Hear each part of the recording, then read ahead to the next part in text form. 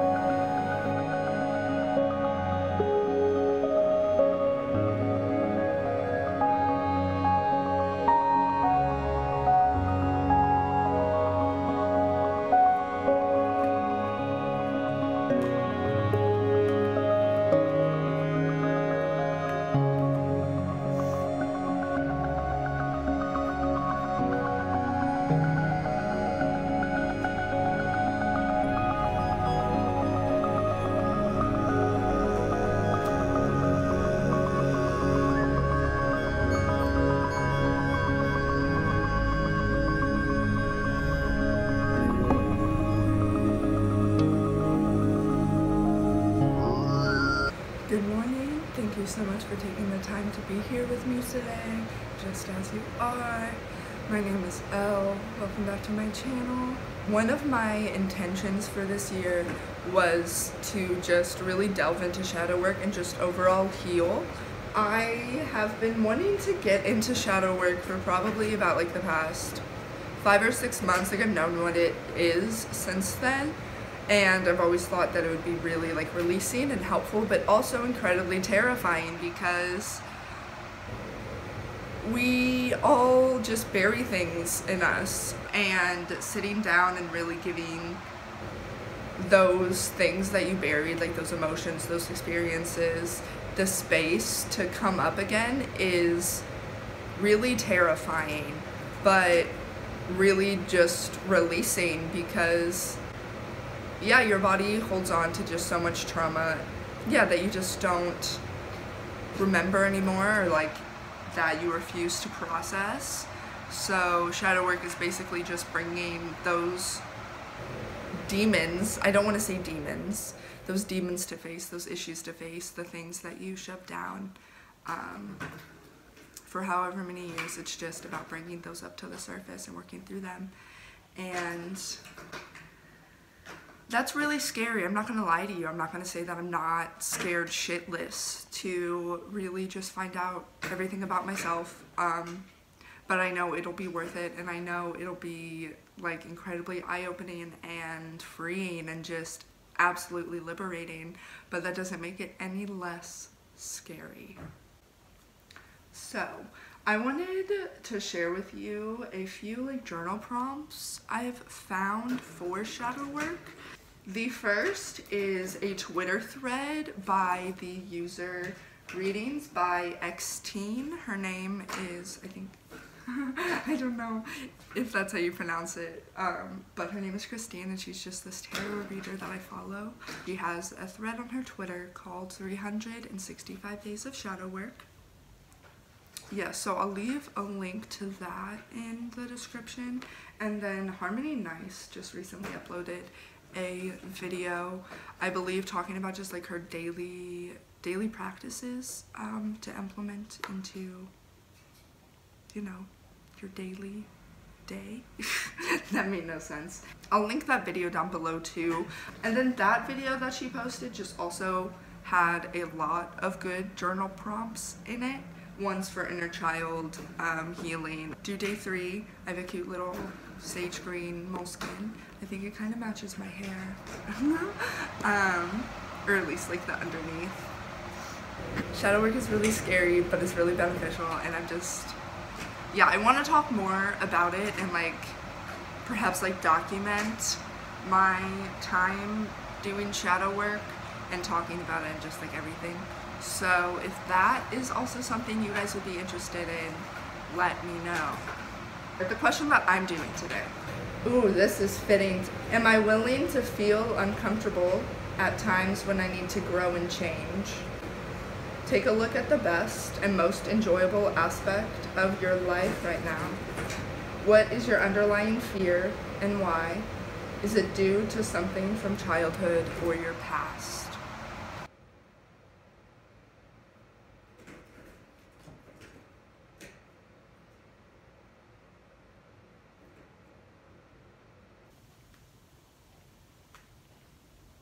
On this saga of what you're set up on. You're set up on a the box of peanut butter pretzels, the salt and pepper grinder that we have, and a box of peanuts. We're making French toast, and Kira's making Chucky milk. So we're having a good time. It's a nice, fun Sunday morning, a nice gloomy Sunday morning.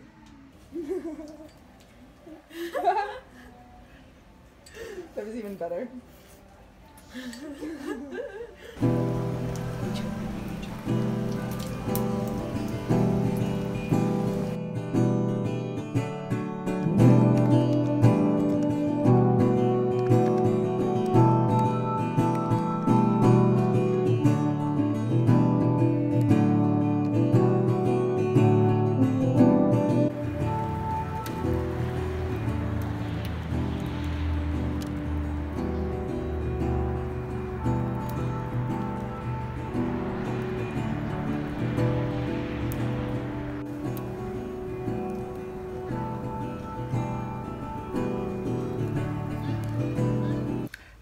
doing? Um, I got home from work about over an hour ago.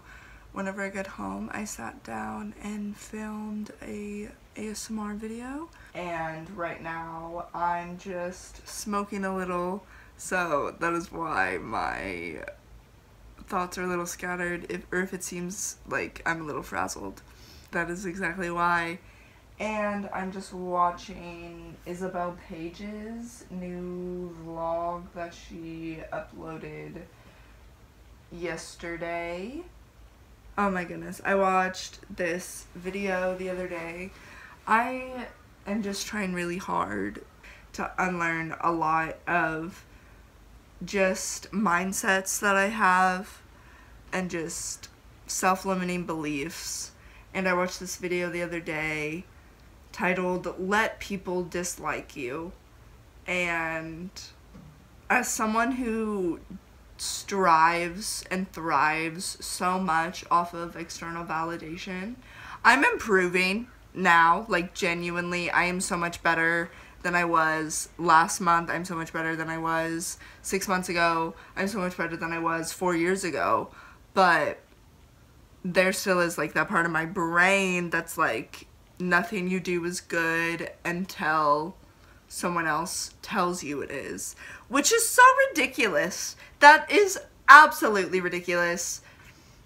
But the video is basically talking about once you give the power to let them dislike you, basically you are unstoppable.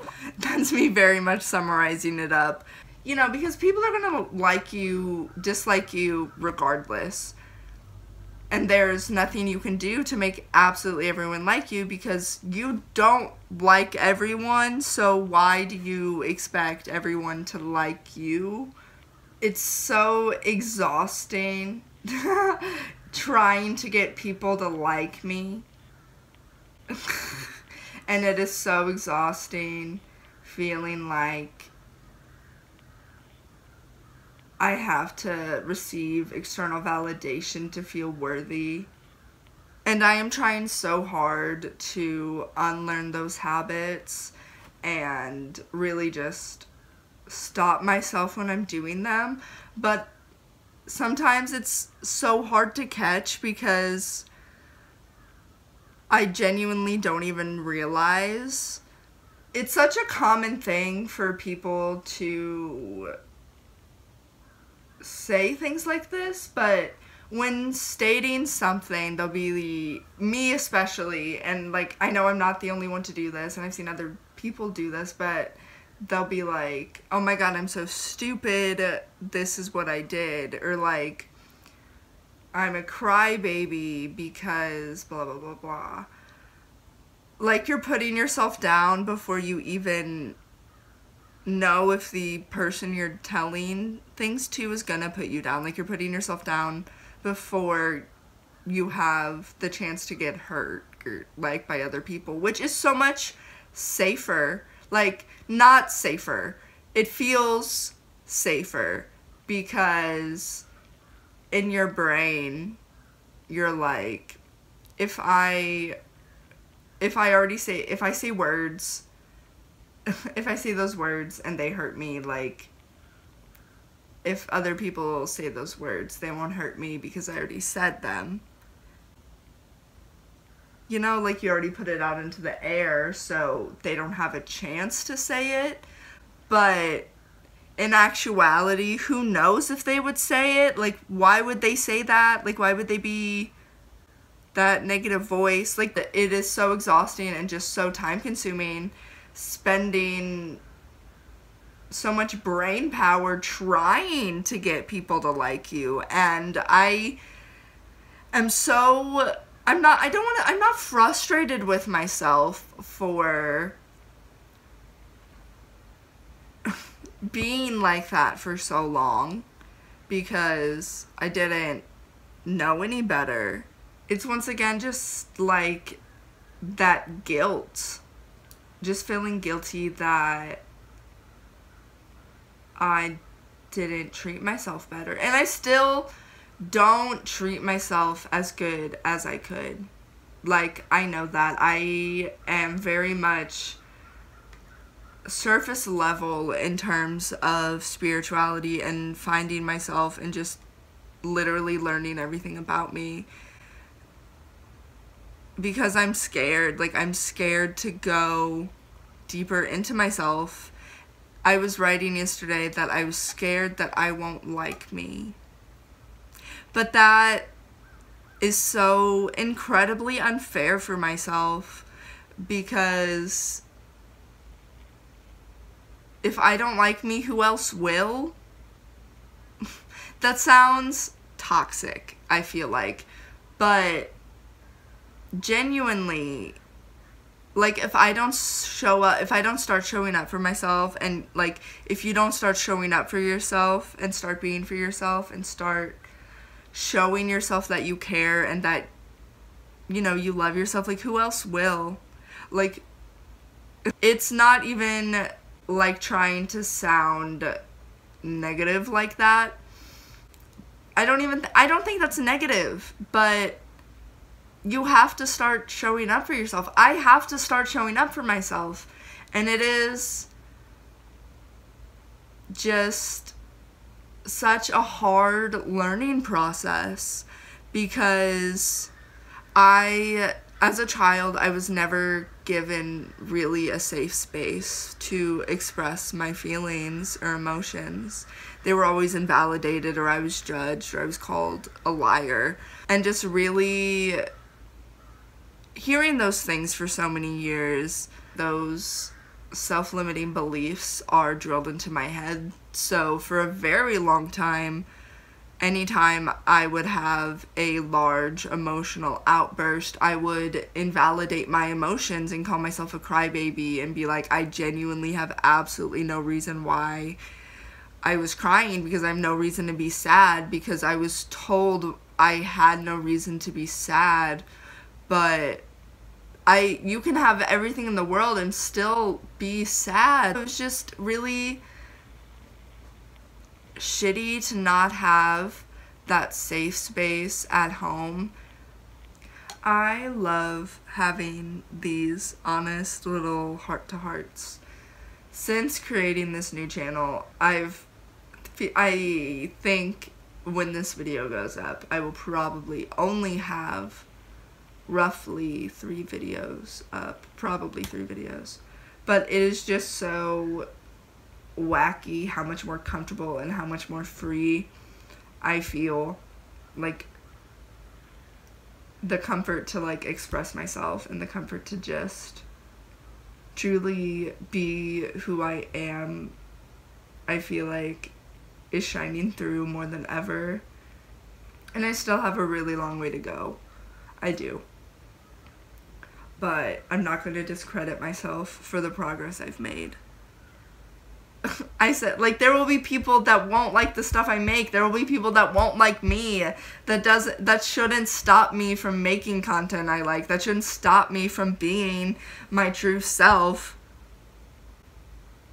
And that is so absolutely lame that I've held myself back for that long. But I'm working on it and I want to be able to just fully 100% be my complete and authentic self in every single aspect.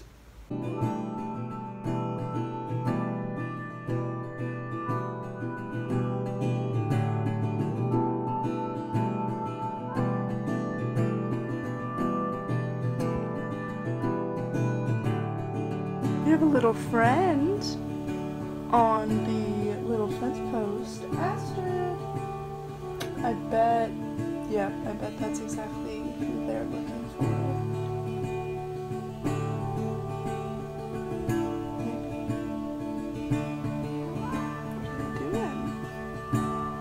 Oh my god, are you okay?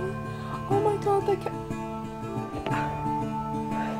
The cat fully just fell. Hope they're okay.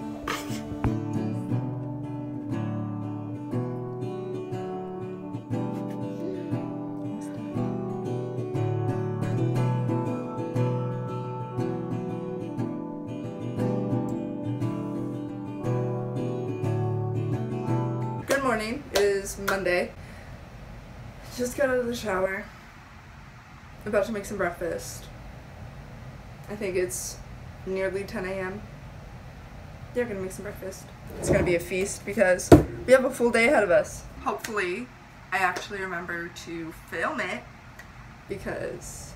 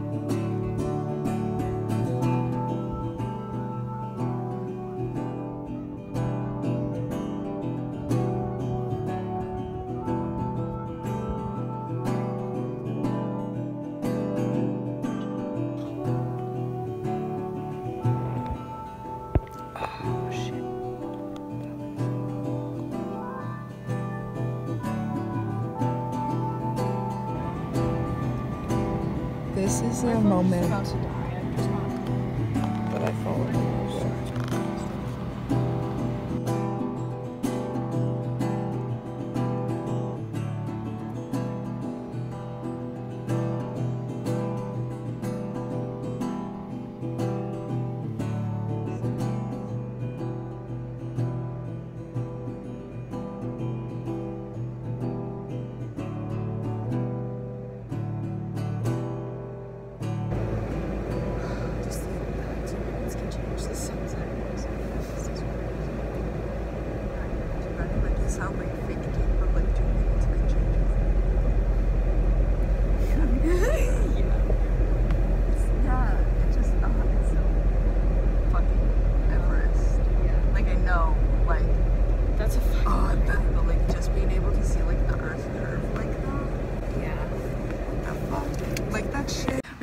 we had a lot of ambitions today, and we didn't fulfill all of them, and that is completely okay. Right. Yeah, because not every day goes exactly how you plan it. And yeah, there were some moments where we were both frustrated. We were both like, okay, we actually just really want to go home. But we persevered. We had a lovely picnic. We saw the stars. Oh my god. Listen, like I think I mentioned last time, or I keep literally referencing last vlog like it was the last chapter and you're reading this like a fucking book. we had a lot of ambitions and it's important to know whenever everything doesn't go exactly your way that things can still be really pretty and like work out because we got to see an absolutely gorgeous sunset that we also thought we perhaps wouldn't even get to see but we did and it was stunning and we got to see stars and every single little bad thing that happened throughout today didn't matter anymore Yeah. because we were at our final destination for the day and it felt just really good Yeah. to like be there. Definitely like an at peace kind of moment. Mm-hmm. Yeah, once again, growing up in like a small town and like moving somewhere to where you're not able to like have access to things like that, like at the drop of a hat, is so is a thing to get used to because like yeah, being able to walk out of my house and see the Oh yeah, stars. had versus- like ten feet. yeah, like you had to, you could, we could look outside. We didn't even have to go Yeah, outside. we could look at our look out the window. like our own bedroom window and like see the stars and like just that not being the reality in like a city which granted i'm not i feel like every single time i talk about that like i'm dissing being in the city I don't think but, like, be in the city. I love the city for a completely different way. I feel like I had kind of like hard eyes for the city. Like I had this, like the city, as in like just any general city. Um, it was gonna be so amazing, and like once again, I am just disappointed by the picture that I painted in my head. Because like I'm disappointed because it's not. I'm disappointed because it's not the picture I painted in my head. Whenever things don't go like that, I just get so like discouraged. It's hard to like see that things are still okay whenever things don't go exactly like how I wanted in my head, or that things can still be good even if it's not exactly what I wanted. Yeah.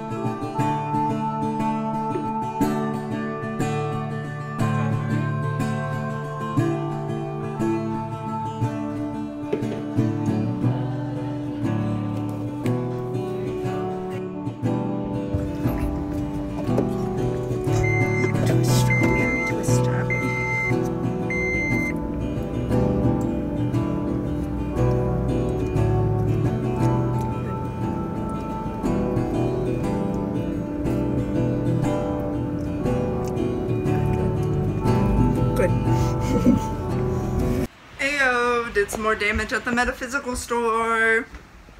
Not even mad, never mad. So I picked up another 26 sticks of incense. I believe I picked up many different scents, flavors. Peace of mind, tranquility, I believe, myrrh, evergreen, um, and just some others that I genuinely don't quite remember. And I picked up some herbs because the new moon is this Friday and I want to put together some like self-love satchels for my roommate and I. Um, so I just picked up some whole um, rosebuds and petals. I also just picked up eucalyptus and lavender. Yeah, Kira also got like 20 sticks of incense. Sticks of wild berry incense. I got a box of patchouli incense.